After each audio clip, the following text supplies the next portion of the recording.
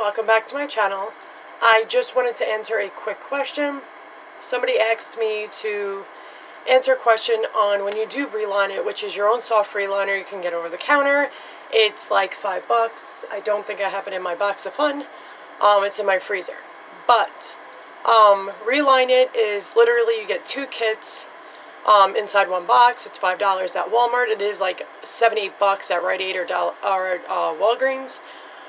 But if you do your own soft reline regular, you know, that you never did anything to your denture, it's your normal denture, no soft reline, nothing done to it, um, you do your soft reliner. Then as time goes, it starts to get looser because you're in your early stages of, um, you know, your gums are shrinking.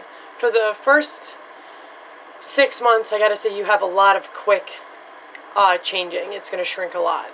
Then it's gonna be gradual through a year. It does slow a lot down um, after a year, but there still is gum shrinkage. Actually, you're pretty much always going to have gum shrinkage, but it's going to be very, very minimal after a year for most people in general.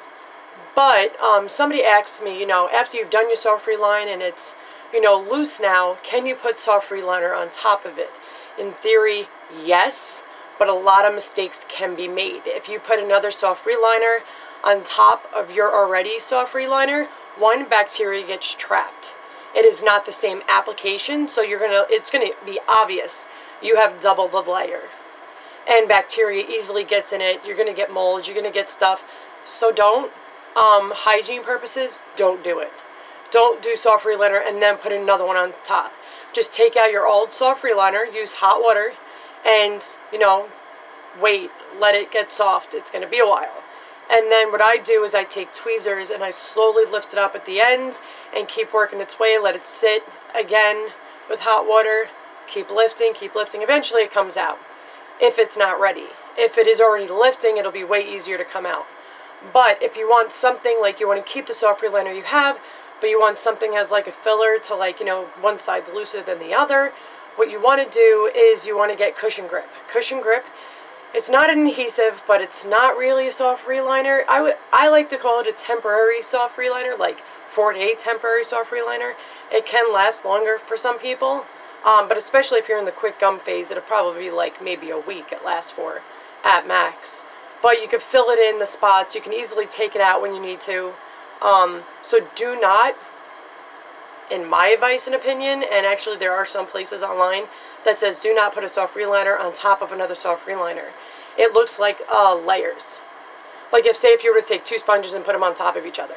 It's what it's going to look like, in theory, if you put two soft reliners on top of each other. So don't do that. Use cushion grip for the fillers if you need to, because you can take it out, you can clean your soft reliner, do all that. No mold's going to get stuck, it's not going to be an issue. Cleanliness is everything and hygiene, so do not use soft reliner on top of soft reliner. You want a new soft reline? Just take it all out and start all over. Or you can use cushion grip, like I said, in the spots that you need it, and you can mold it. With, that's what's cool about it. It's in a tube. Use the amount you want. You can mold it. You can do whatever you want with it, and just use it. And it, which is cushion grip, it cushions and grips, so you have that security, so you don't need adhesive. Yes, you can use adhesive with it, but you don't have to if you know you have the right grip to it.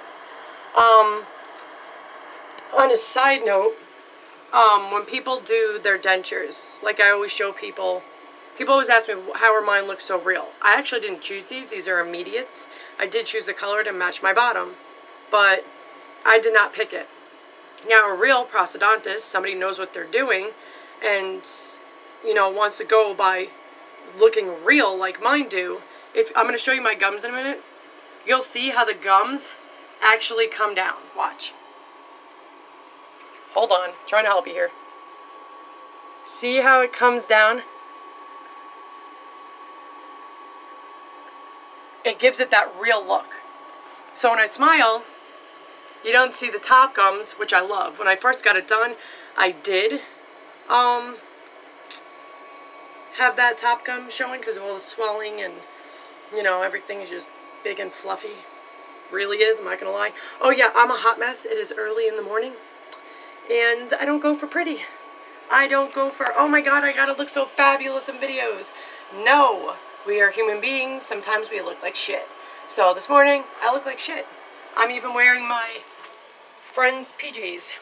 So, I look like crap sometimes. I don't care. Just giving information.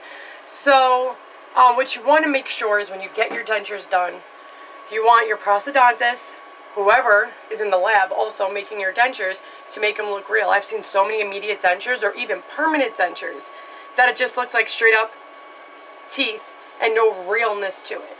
Not different shape. Like, look. Square, round, all different kinds. Some go up here, you know, for canines to show that it's a canine.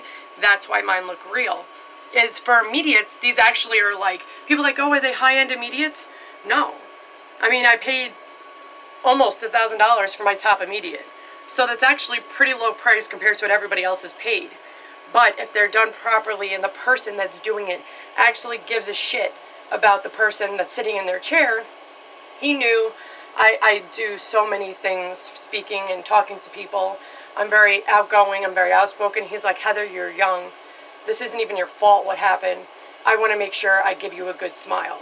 And for immediates, like, these are awesome. They are. But like I showed you, if you see the gum line and see how they go in the teeth, um, look.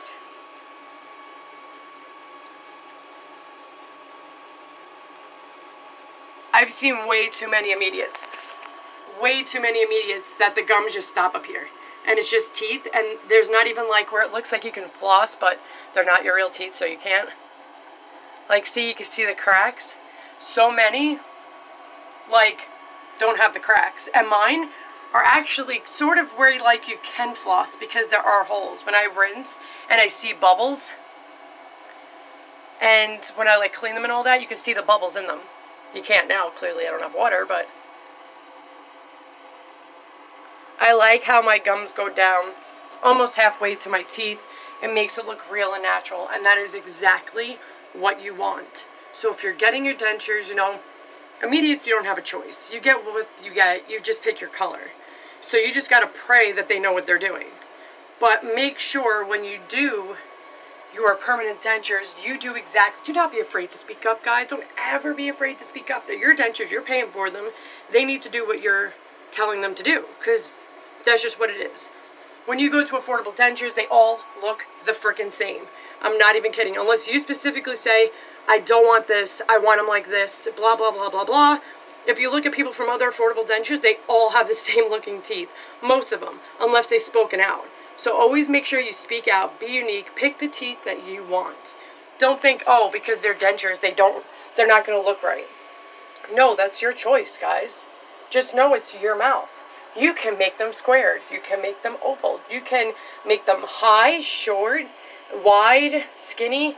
You can do whatever. I've seen people even put gaps in theirs, which I mean, their teeth look so freaking natural when they do that. And it suits them. That's what I mean. I would never do that because it would totally not suit me. But for those people, it suited beautifully. And they, I would have never guessed they wore dentures. I mean, they did a phenomenal job picking out what they wanted to do. So just remember, you are in control of your own denture, your own mouth. If you are not being heard, you find somebody that does hear you and give you what you want because you're paying for them and then you're stuck with them. Because ain't nobody wants to pay that kind of money. And affordable dentures is not affordable. Dude, they're expensive. And I was like, dude, my dentist charges cheaper than you people. My teeth look better than that. Like, come on now. Like, they should really, and I, you know, I know some people say affordable dentures, they're nasty people. They treat you like you're just a number. Or one person said they just treat you like you're cattle. Um, and, you know, there's like two people I've seen love affordable dentures. So you gotta understand each chain is bought different by each dentist and does their own thing and not every place. Always check reviews wherever you go. Always check reviews. I mean, my dentist has like almost five stars. So, and he handles Medicaid. He handles every insurance company. And he's very caring and very good at his job. So you want to make sure whoever is taking care of your mouth that they're doing their best and they're not treating you like your opinion don't matter because you know what I hate when people do that whether it's a dentist, doctor, even if it's a customer service person anywhere, I hate that shit because customers need to be treated with respect. And I worked retail for like 15 plus something years. So do I think the customer's always right? No. But I do think you have to respect people and you treat people the way you would want to be treated. But always make sure that they're hearing you and don't be afraid. So many people like, oh, I'm, you know, I'm just, I don't like it, but you know, I didn't tell them. Well, that's that's on you, dude, because it's your fault you didn't tell them. You have to speak up. It doesn't matter what they think. This is your mouth. It's what you want. So if they're gonna treat you a crappy way, you know, put them in that place real fast. Say, you know, listen, I'm a customer. I pay you to do a job. I'm telling you how to do that job and what I want. And your job is to do that for me. Make sure you do your wax try-ons. Anything you don't like, you check out. You know, when you first put it in, people are like, oh my God, I'm so excited. But then they start, after time, realizing, oh, this is messed up and this isn't right and all this is wrong. But you need to understand that you need to just, I understand that you like the teeth in your mouth, but give it a minute. Start checking every section. Something is loose, something is not right. If something you know, one tooth is like not even even close to matching the other teeth. They don't have that gum line. Like this is what you want. You want the gum line to go down into the teeth because it makes it look real. Okay, I'm done annoying the crap out of you guys. I'll leave you guys alone. If you have any questions you want me to respond to, you know you want information on, comment, always email me. It's in every video in the description below. Don't forget to hit subscribe so you don't miss videos, especially if you're requesting a video um, then you'll miss your video. So hit subscribe, click on the bell, hit all, and you'll get all my information. If you miss my adjustment videos or my dry mouth videos or any other videos, click on uploads and it'll bring down the entire thing of um, all my videos I have done, which I have done a shit ton in the last month and a half.